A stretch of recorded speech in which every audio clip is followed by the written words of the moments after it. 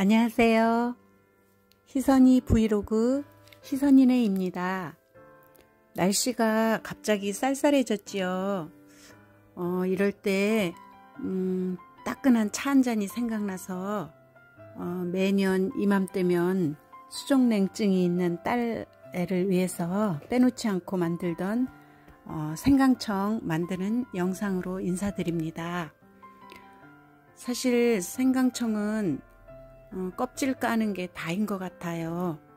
어, 시간이 너무 많이 걸리긴 하는데 또 만들어 놓고 나면 가족들도 좋아하고 또 어, 나눠주기도 하고 어, 이러니까 자꾸 만들게 돼요. 어, 생강차의 효능은 음, 익히 아시겠지만 면역력을 높여주고 또 몸도 차갑고 추위를 많이 타시는 분들에게는 꼭 필요한 차예요. 음, 제가 어, 작년부터 착즙기를 이용해서 청을 만들게 됐어요. 그전에는 믹서기에 갈아서 배보자기에 짜서 정말 수제처럼 만들었거든요.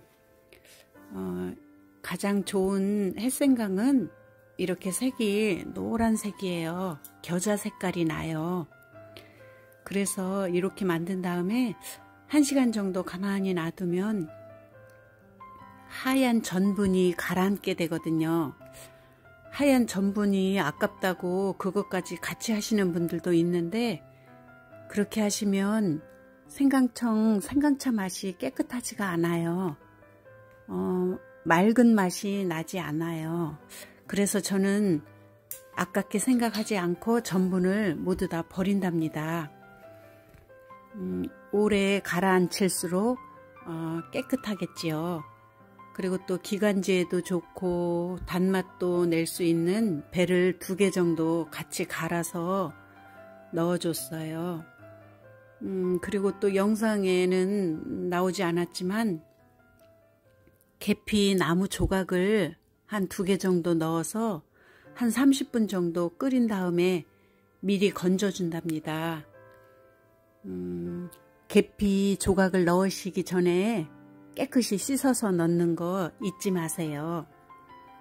어, 이렇게 어, 끓이면서 거품이 많이 나오거든요. 이런 거품은 걷어주셔야 돼요. 찌개나 매운탕을 끓일 때도 거품을 걷어내면서 끓이는 것처럼 그런 똑같은 효과를 나타내는 거죠. 이렇게 만들어 놓으면 어, 한 1년 정도는 어, 거뜬하게 또 건강하게 어, 지낼 수 있을 것 같은 그런 믿음이 생기곤 해요. 농도는 음, 올리고당처럼 음, 그렇게 어, 흐르는 듯이 끓여야 돼요. 오래 끓이면 딱딱해지거든요. 껍질 까는 것부터 이렇게 서너 시간에 어, 노고가 이렇게 청으로 완성이 될 때 마음이 너무너무 뿌듯해요. 제가 어제 이거 껍질 까고 만드느라고 새벽 2시에 잤다는 거 아니에요. 이렇게 만들려고 저는 빈 병만 보면 욕심을 내고 어, 모으기 시작했어요. 병은 재활용해야지 좋잖아요. 일일이 다 살려면 그것 또한 또 돈이니까요.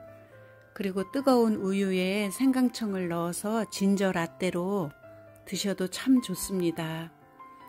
어, 이번에 올해 한 생강청은 적당히 매우면서 적당히 달고 계피향도 진하지 않은 게 참 잘 된 것 같아요.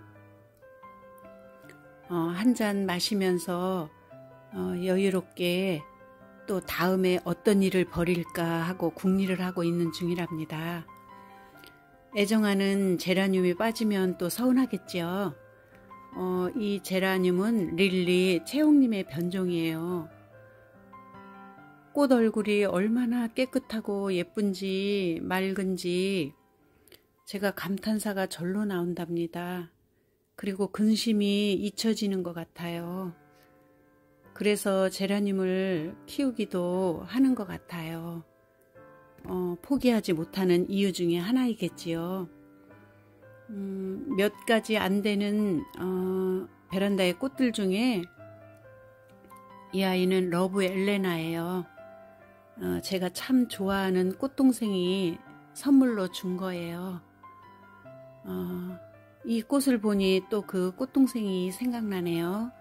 어, 안부 전화 한번 해야 되겠어요. 색깔이 어떻게 어찌나 쨍한지 너무 예쁘고 감탄사가 절로 나요. 제 마음도 환하게 쨍해지는 느낌 그런 느낌이 드는 꽃이네요. 여러분들도 기회 되시면 한번 키워보세요. 음, 이 꽃은 음, 도로시 나바로라고 어, 두 가지 색의 꽃이 피어 있네요. 어, 아마도 어, 햇볕의 양에 따라서 색이 진해지는 것 같아요. 그러니까 더 예쁘고 또 어, 고난의 여름을 잘 견뎌준 도로시 나바로 이 아이 참 애정하는 제라늄이랍니다. 청초하다는 생각이 들기도 해요. 음, 그리고 또 제가 어, 제라늄을 키우면서 참 많이도 어, 죽어서 나갔지만 이렇게 살아있어 준 것만으로도 너무너무 애정하게 돼요. 어, 마지막에 이 영상은 소프트 더블 핑크, 핑크인데요. 어, 이 꽃 입장이 너무 고와서 너무 아름다워서 아우 나도 너처럼 예뻤으면 좋겠다 이런 생각을 하게 하는 꽃이에요. 어, 이런 마음이 드니 어, 제라늄을 좋아하고 또 계속 키우게 되고 갖고 싶어지고 그런 것 같아요. 구독, 좋아요로